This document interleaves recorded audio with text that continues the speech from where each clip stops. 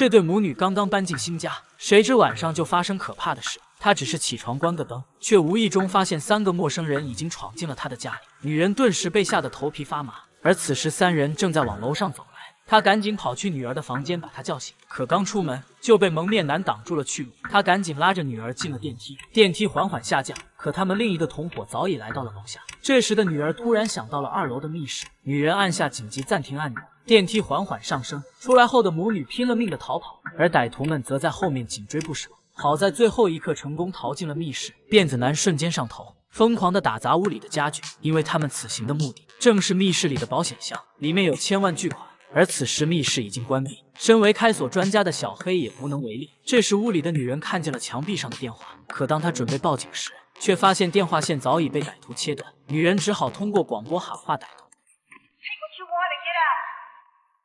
可他们要的东西就在密室里，并承诺只要让他们进屋拿到东西，几人就会立刻离开。但女人并不相信他们，眼看母女俩怎么都不肯出来，歹徒们便封死所有门窗，然后拿起大锤。准备从密室的下方砸开一个大洞，可当他们砸开底部，却发现里面还有一层厚厚的钢板。而此时的小黑又想到了一个办法，只见他提着管子和煤气管，拿起小锤便在墙上砸开一个口，用电钻穿过厚厚的钢板，这样就打通了连接密室的通风管道，然后塞入管子，另一端则连接着煤气管，随后打开阀门，煤气顺着管子流入通风管道，然后就到达了密室。他们要用这种方法将屋内的母女俩逼出来，因为里面的保险箱里藏着千万巨款。而屋里的两人还不知道他们要干嘛。此时的女人发现了异常，她爬上通风管道，狠狠地吸了一口，那刺鼻的气味差点没把女人送走。很快，整个密室都布满了煤气。这时，女儿发现一个小孔，两人呼吸着新鲜空气，但这样下去不是办法。女人赶紧用胶布把管道封起来，可强大的气流根本无济于事。这时，女人在箱子里找到一个打火机，一个大胆的想法油然而生。只见她用毯子包裹全身，然后打开了通风管道，把打火机伸进去。一阵爆炸过后，母女二人并没有受伤，而屋外辫子男的手臂却燃烧了起来。小黑急忙帮辫子男扑灭火焰，气急败坏的辫子男放下狠话：“无计可施的三人吵了起来。时间越往下拖，对他们越不利。而密室里的母女也没闲着，他们透过通风口看见对面的屋子有人，于是不断用手电筒求救。这时的男人看到了闪烁的灯光，母女俩抓住机会拼命呼喊。可屋外的雨声却盖过了求救声，男人以为是恶作剧，就关上了窗户。就在两人以为没救之时，女人从监控中看到密室外的卧室没人，而三名歹徒都去了楼下，手机就在卧室，这是唯一的机会。可手机却不在桌子上，于是俯身发现手机就在床底，伸手去拿时，却不小心打翻桌上的台灯。巨大的声响顿时引起歹徒的注意，他们疯狂地向着楼上跑去。拿到手机的女人也拼命往回跑。在千钧一发之际，再一次回到密室，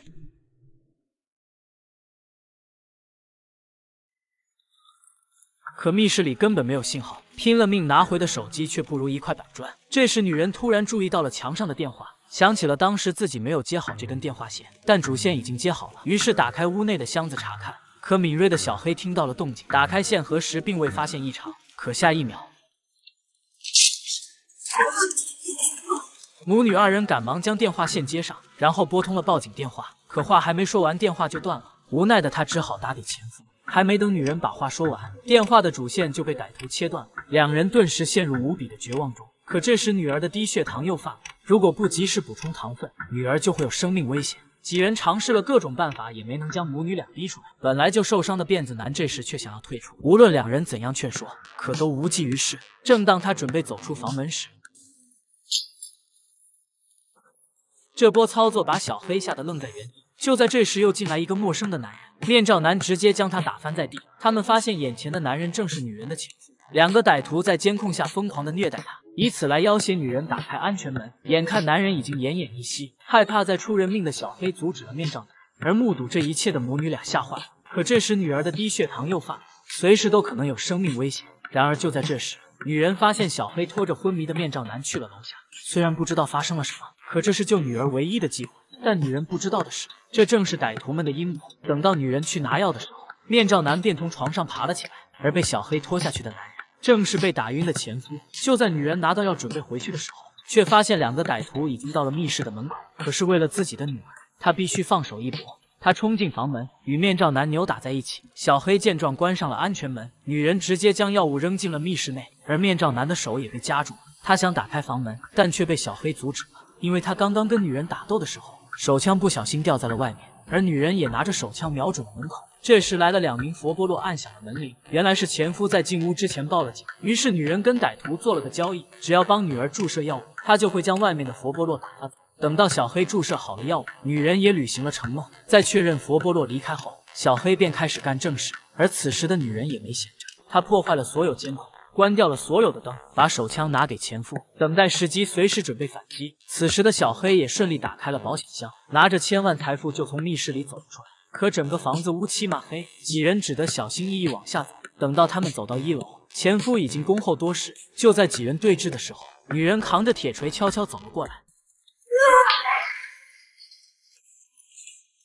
小黑见状，急忙跑了出去。而此时的面罩男并没有死，掉下楼的他又爬了上来。受伤的前夫连开几枪都没有打中，女人一锤砸下去被推开，椅子上的前夫也被推倒，手枪随即掉在地上。一家三口没占到一点便宜，反而差点被反杀。好在小黑及时赶到，不然又是一场悲剧。其实小黑还是挺好的，他做事一向都很有原则，只求钱财，不想害命。然而正是因为他的善良之举，让随后而来的佛波洛抓住了他。只见他绝望地跪在地上。千万巨款也随风飘散，